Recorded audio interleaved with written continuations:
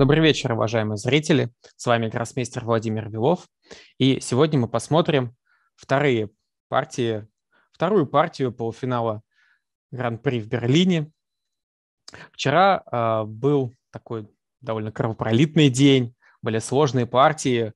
Э, Хикар Накамура в сложной борьбе обыграл Рихарда Рапорта, и Левон Аронян обыграл Домингеса партию, которую я вам вчера показывал. Сегодня мне казалось, что их соперники будут играть долго, пытаться отыгрываться, может быть, где-то даже перегнут палку. Партии, казалось, будут интересными, однако ожидания не совсем оправдались. Сегодня две ничьи, причем ничьи довольно быстрые. А Линьеру Домингесу вообще не получилось завязать а, борьбу, а Рихард Рапорт партию, которую мы сейчас посмотрим, тоже по большому счету больших проблем американскому гроссмейстеру поставить не удалось. Итак, давайте посмотрим. Белыми играл э, венгерский гроссмейстер Рапор, черными американский Накамура. Конь f3, d5, g3. Выбор дебюта, конечно, сразу понятен. Э, венгерский гроссмейстер хочет сойти с магистральных продолжений, чтобы, да, может быть, получить там не лучшую позицию, но боевую. G3, конь F6, слон G2, E6.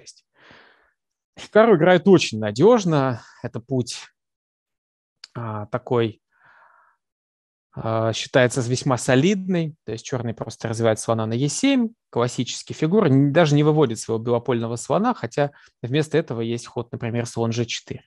Нет, не связывается с этими Накамура, с этими вариантами слон E7. D3. Ход d4 вел к каталонскому началу, то есть белый потом ходит c4, весьма изученному. Но, как я уже говорил, концепция рапорта была не идти по магистральным путям. И он делает ход d3. Рокировка последовала, конь d2, и здесь э, Накамура делает ход конь c6. Кстати, далеко не основной ход конь c6 ну, более стандартными здесь являются ход c5, чтобы коня поставить позади пешки, как вот говорили классики, сначала пешку надо а, провести вперед, потом уже коня в таких позициях. Ну вот Накамура ставит коня на c6, и выбор его оказывается очень успешным. Черные хотят поставить пешку на e5 сразу, побороться за центр. А, очень похожую идею играл Магнус Карлсон против Яна Непомнящего на последнем матче, партии, где Карлсон выиграл. Ну, там была немножко другая позиция, но вот идея была схожая. Тоже конь c6. А, итак, здесь а, последовало d4, да, довольно неожиданный ход. Пешка вроде только что сделала ход на d3, да, и белый теряет темп. Однако в позициях с пешками на d4, d5 считается, что конь на c6 расположен не совсем удачно. И белые даже вот, несмотря на потерю темпа, идут в эти позиции. То есть что, что будет здесь э, важнее – Неудачные позиции коня на c6 или темп – это вопрос очень сложный. Конь e4. Накамура действует агрессивно и, кстати, очень логично. Ставит коня сразу же в центр. А, может, потому что. А, здесь делает ход а, рапорт c3. И я сразу скажу, что оказывается, у Рихарда уже была такая позиция. Он играл.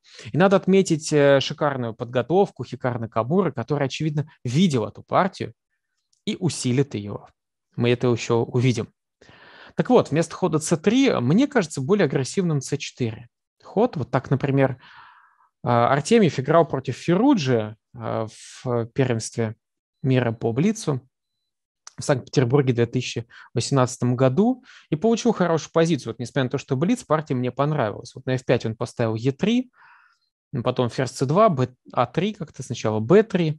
Ну, развитие такое нормальное, слон на b2 хоть выходит. Мы сейчас увидим, с этим будут у белых некоторые проблемы с выходом этого слона.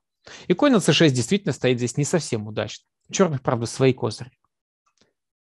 Итак, вернемся к ходу c3. c3, конечно, ход скромный. То есть, с одной стороны, Рихард хотел получить какую-то свежую позицию, с другой стороны, вот он как-то здесь немножко зажимается, на мой взгляд. f5, конь e1. Е5. Черные играют по всем законам, то есть по классическим, захватывают центральные поля пешками. Конь df3, слон f6, ну и здесь вот ход Е3 такой. Вообще, когда я первый раз увидел, не лез еще в базу, не смотрел сыгранные партии, мне показалось, что это, что слон c1 делает. То есть как так можно играть, это точно там, точно играет шахматист с рейтингом 2763. А, то есть без чернопольного слона такая стратегия постановки пешек э, ну, достаточно здравая. Но со слоном не, не часто такое увидишь. Однако, конечно, не все так просто. Рихард уже так играл, причем он побеждал. И вот а, в чем, а в чем идея, конечно, хорошо, в чем идея белых. Хорошо показывает его партия вот против а, шахматиста по фамилии Конан. Германия 2019 года. С ним пошли король h8, какой-то беззаботный ход, он пошел конь d3. Идея белых так надавить на пешку e5, чтобы заставить черных съесть на d4. И после ЕД у белых будет уже слон развит. То есть ЕД, ЕД, слон Е6, H4, H4 такой ход, фиксирующий черные поля. Потом конь попал на Е5. Ну, здесь все так вообще как по маслу зашло у белых. Все очень комфортно, все очень красиво. Ну и белые реализовали свой могучий такой огромный позиционный перевес. Ну, посмотрите на эту позицию, посмотрите на фигуру белых и фигуру черных. Но с Накамурой такое не прошло. Во-первых, он подготовился. Он сделал ход b6. Ход сильный.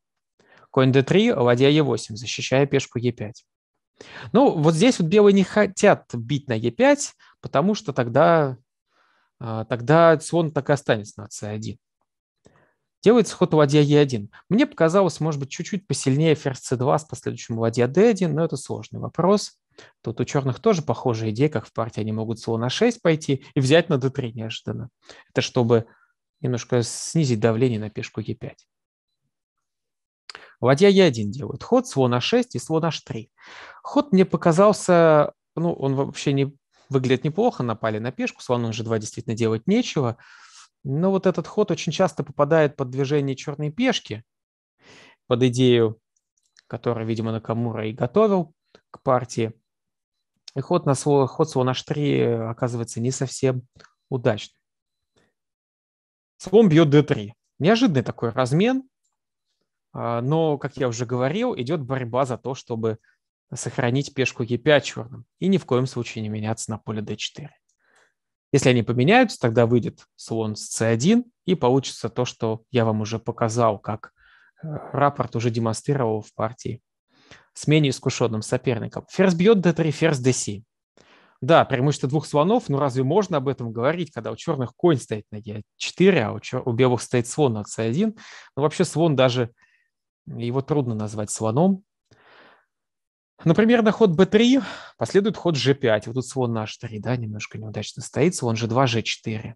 Давят черные здесь, и прямо у них здесь хороший перевес. Ну, посмотрите, все по центру стоит. Возможно, правильно был ход конь d2, хоть оправдывал идею. Но после взятия на e4 черные везде возьмут пешкой пешкой d, и у них будет нормальная позиция. То есть за перевес уже белый, конечно, не борется. Ладья d1 последовал ход, ну, где-то угрожает ход de, поэтому черные пошли ладья а d8. И э, рапорт пытается как-то завязать игру, не дать черным успеть пойти g5 и делает ход b4. То есть нападает на b5, чтобы взять потом на e5, ферзь e6. Ну, вот такая вот ловушку небольшую покажу, если здесь взять на f2, такой тактический удар нанести, и потом попытаться отыграть, то ферзь уйдет, и вот тут слон на h3 наш скажется, и висит пешка сюда, ферзь висит. И тут может быть 1-1 и тайбрейк мы его увидели. Но нет. Ферзь e6 очень крепкий и сильный ход, а от Накамуры b5, конь a5, de слон бьет e5, конь d4, ферзь уходит с темпом.